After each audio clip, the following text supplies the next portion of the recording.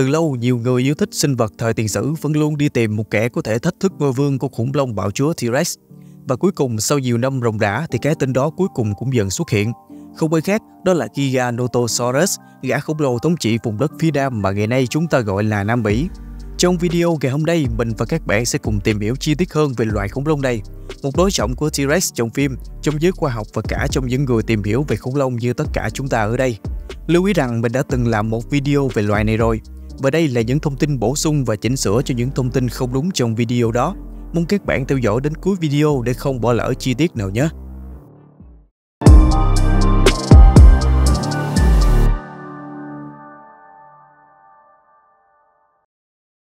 Nghiên cứu và so sánh Cái tên Giganotosaurus có nghĩa là thằng lằn khổng lồ phía nam. Nó là một chi khủng long Theropoda thuộc họ Carcharodontosauridae, sống ở khu vực ngày nay là Argentina vào cuối kỷ phân trắng.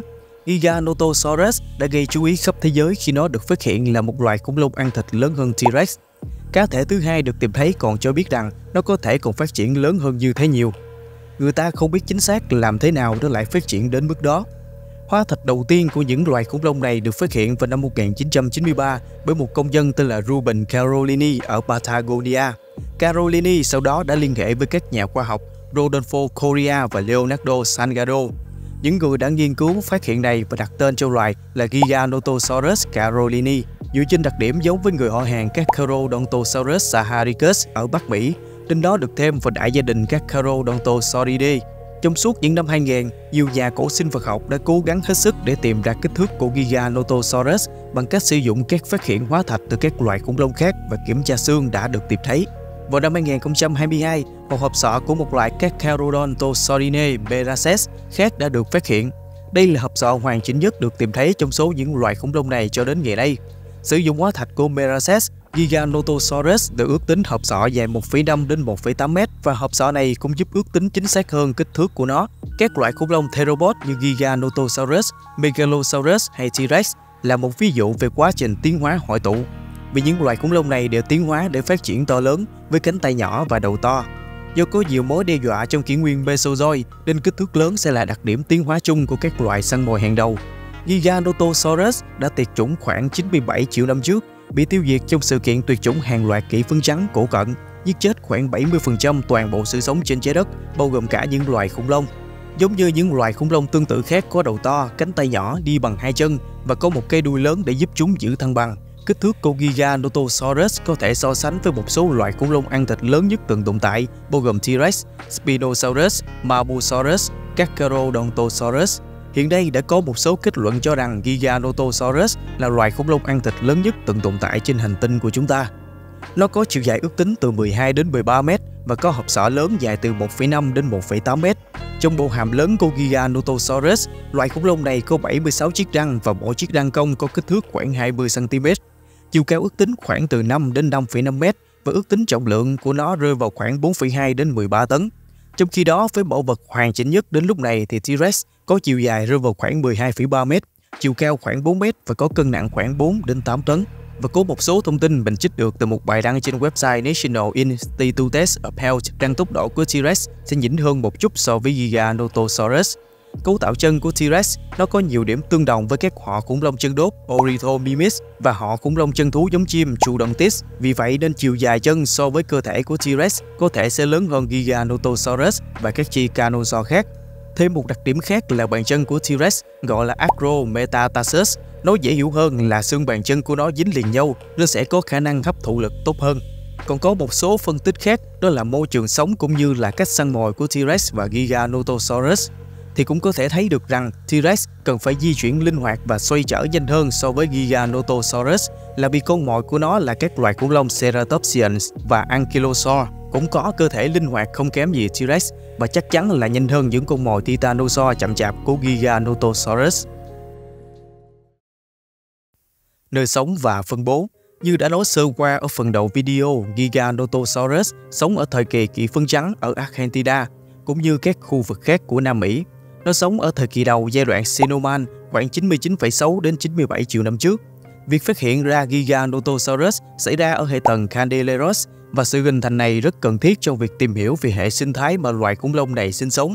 Nó sinh sống trong môi trường rừng ấm áp và tươi tốt với vùng đồng bằng ngập nước. Kỷ phân trắng ở Nam Mỹ có rất nhiều loài thực vật, một số loài có thể tìm thấy ở dưới nước. Nam Mỹ là một môi trường tươi tốt vào kỷ phân trắng với các loài thực vật như là Horsetails, French, Ginkgo và Lotuses, nơi mà Giganotosaurus sống và săn mồi có rất nhiều loài thực vật. Bằng chứng hóa thạch ở hệ tầng Candeleros cho thấy Nam Mỹ có rất nhiều sông, vùng đất ngập nước. Nam Mỹ trong kỷ phân trắng rất ấm áp và có lượng mưa lớn theo mùa và môi trường rất giống với môi trường ngày nay. Cách chúng săn mồi Giganotosaurus là một trong những loài khủng long ăn thịt lớn nhất trên hành tinh và tất nhiên là cả trong môi trường sống của chúng ở Argentina. Kích thước to lớn khiến nó có khả năng tiêu diệt bất kỳ loài khủng long nào mà nó gặp được. Và các nhà cổ sinh vật học cũng tin rằng loài khủng long này có chế độ ăn gồm các loài khủng long ăn cỏ. Kích thước lớn của Giganotosaurus cho phép nó dễ dàng chế ngự những con khủng long khác và với hàm răng sắc nhọn cho phép nó cắn xuyên qua lớp da dày của con mồi.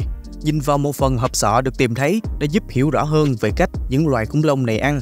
Hóa thạch cho thấy hàm dưới của loài khủng long này được sử dụng để nghiền đát, trong khi hàm trước của chúng bắt chặt con mồi. Các nhà khoa học không tin rằng nó sống hoặc đi săn theo bầy và nó được cho là sống đơn độc. Nhưng giả sử nếu các loài Giganotosaurus đi săn cùng nhau sẽ giúp chúng tiêu diệt những con mồi lớn hơn như Sauropod. Nhưng vẫn cần có bằng chứng để xác nhận xem nó có hợp tác săn mồi hay không. Kích thước và bộ hàm nghiền nát của Giganotosaurus đã giúp nó có khả năng ăn nhiều loại động vật nhỏ hơn, bao gồm cả những loài sauropod non và thậm chí là cả những con khủng long chân thú khác nếu có cơ hội. Theo ước tính từ các nhà khoa học thì Giganotosaurus có hơn 76 chiếc răng và trong số đó có khoảng 10 chiếc răng dài 20cm nằm tăm tắp tạo thành hệ thống mũi dao sắc nhọn cắt xé con mồi. Phần cằm hàm dưới được gia cố chắc chắn để phần hàm trên được mở rộng tối đa. Phương thức săn mồi của Giganotosaurus vô cùng man rợ và độc ác. Nó hạ gục con mồi bằng cách cắn mạnh, dằn xé con mồi cho đến khi chết mới thôi. Thức ăn của chúng thường là thịt động vật, có thể là những chú khủng long khác loài. Vòng đời của Giganotosaurus Giganotosaurus có thể có chu kỳ sinh sản tương tự với các loài khủng long chân thú khác và sinh sản bằng cách đẻ trứng. Bằng chứng hóa thạch từ những loài khủng long này cung cấp cái nhìn sâu sắc về vòng đời của nó. Khi so sánh với các loài khủng long khác đã được nghiên cứu trong hơn 200 năm qua, thì đó là một loài khủng long tương đối mới. Giganotosaurus khi còn nhỏ sẽ dễ bị tổn thương nhất trước những kẻ săn mồi. Vì vậy, mẹ của chúng có thể đã bảo vệ con non cho đến khi chúng có thể tự vệ. Các nghiên cứu về loài khủng long tương tự cho thấy các loài khủng long các Carodontosauridae như Giganotosaurus phát triển rất chậm so với các loài khủng long như Tyrannosaurus. Nếu tương tự như các loài liên quan, nó có thể mất tới 30 đến 40 năm để trưởng thành hoàn toàn và có thể sống tới hơn 50 năm. Vẫn còn nhiều điều cần tìm hiểu về vòng đời của những con khủng long này và nhìn chung có rất ít con non và các giai đoạn phát triển khác của loài khủng long này được phát hiện. Tương tác với các loài khác Giganotosaurus là loài săn mồi lớn nhất ở Nam Mỹ và chia sẻ môi trường sống với những loài khổng lồ như thằn lằn hổ Pháp. Một số loài sống cùng với loài theropod này bao gồm Andersaurus, Megaraptor hay Abelisaurus. Kích thước lớn của Giganotosaurus có lẽ đã được sử dụng để tấn công con mồi và bộ hàm mạnh mẽ của chúng để giết chết. Bằng chứng hóa thạch được tìm thấy cùng nhau cho thấy những con vật này có thể đã sống thành đàn ở Argentina. Nhưng vẫn cần thêm bằng chứng để xác nhận điều này. Dù sống một mình hay sống cùng nhau, Giganotosaurus vẫn đứng đầu chuỗi thức ăn của chúng và ngay cả khi còn nhỏ cũng có thể cạnh tranh với các loại khủng long chân thú lớn khác. Ở Nam Mỹ thuộc kỷ phấn trắng cũng có các loại như Broke, Lidella và thằn lằn bay mà nó có thể săn được. Khi có thêm bằng chứng về các loài ở Argentina thời tiền sử, nó sẽ chỉ trở nên rõ ràng hơn về môi trường mà Giganotosaurus từng cai trị. Ý nghĩa văn hóa từ khi được phát hiện vào năm 1993, Giganotosaurus đã trở thành một trong những loài khủng long được yêu thích nhất, ngay cả với phát hiện gần đây của chúng. Những con khủng long này được giới thiệu trên các phương tiện truyền thông như công viên kỷ Jura và các trò chơi như Ark. Và do kích thước khổng lồ của những con khủng long này nên không lâu sau chi này đã trở thành loài được nhiều người hâm mộ yêu thích.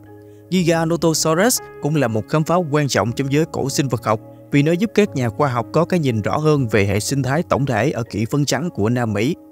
Rất nhanh chóng, nhiều người đã quan tâm đến gã khổng lồ phương Nam Giganotosaurus này và ngày nay kích thước của chúng vẫn đang được tranh luận. Hóa thạch đầu tiên của Giganotosaurus đã hoàn thiện khoảng 70% và phát hiện của chúng đã giúp các nhà cổ sinh vật học hiểu rõ hơn về loài khủng long thuộc họ các Carodontosauridae. Khi nghĩ về loài khủng long Nam Mỹ Giganotosaurus này là một trong những loài mang tính biểu tượng nhất và trong tương lai những hóa thạch tốt hơn có thể sẽ giúp chúng ta tìm hiểu thêm về loài khổng lồ này.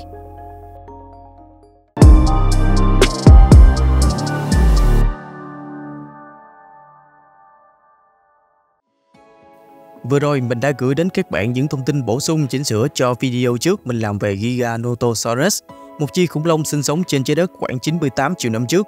Loài khủng long có biệt danh là gã khổng lồ phương Nam. Nếu các bạn thấy video này hữu ích, có thể để lại một like, một chia sẻ video đến với nhiều người hơn nữa. Các bạn cũng có thể yêu cầu mình làm về một loài sinh vật nào đó mà các bạn yêu thích ở phần bình luận. Các bạn cũng có thể ủng hộ chúng mình thông qua những thông tin ở phần mô tả. Còn bây giờ thì xin chào và hẹn gặp lại.